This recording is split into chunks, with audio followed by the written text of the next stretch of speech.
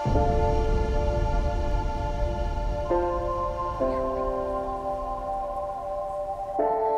striber bæres i hjertet. Når alt er godt, og når det hele ramler. På langs af trøjen, men på tværs af generationer. På tværs af dig, mig og alle andre i et stort, blåstribet fællesskab, hvor hver eneste stribe er unik Sammen skriver vi historie. Skaber håb og løfter holdet. Et hold, vi alle er en del af. Uanset hvor vi er og hvem vi er.